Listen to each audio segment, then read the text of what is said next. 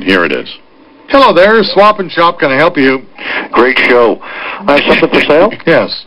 I have a $25 gift certificate for Tim Hortons Coffee, and I would like $50 for that. Well, who's going to pay 50 bucks for a $25 gift certificate? Well, hopefully there's somebody out there. It's a, it's a nice card. It's nice and shiny. It's brand new. Oh, I got- really? I like to make a profit on it. well, I'm sure you would. All righty, so let's put that up, please, for $50. If you want, I don't care. Would you like to buy it yourself? No. You know, I think I'd be doing a little bargaining on that one. I don't think I'd be uh, paying full price for it. All righty. Well, thanks a lot for your call. At least you kept me entertained today. Well, well, I don't understand the entertainment. I'm just looking to make a buck like anybody else. Oh, I don't, I don't mind. Listen, you can charge anything you want for anything. If someone's willing to pay it, I'm more than happy to put you on the radio. All righty. can you read that back to me, please? no. Why's that? Well, I didn't type it down.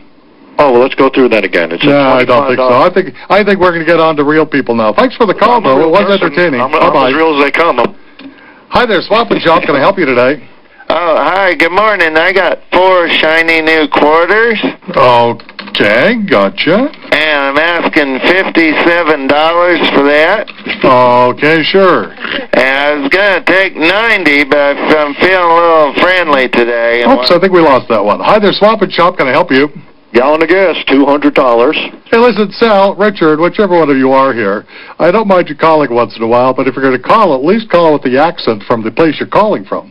I mean, Oh, please, what guys. you talking about? Anyway, I'm going to sell a gallon anyway. of gas for 200 bucks. Put it up. Anyway, thanks a lot for calling. I do appreciate the call. Like I said, I need a good laugh sometimes in the morning, and uh, you're certainly providing me with one. So uh, take it easy, and uh, I hope it's not raining where you are.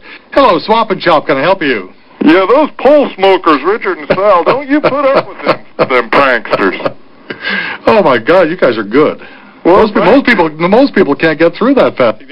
Think that was a fake laugh? He goes, uh, uh, uh, you guys are good. But you guys are just lickety split. Lickety well, now, listen, split. thanks Lickety split.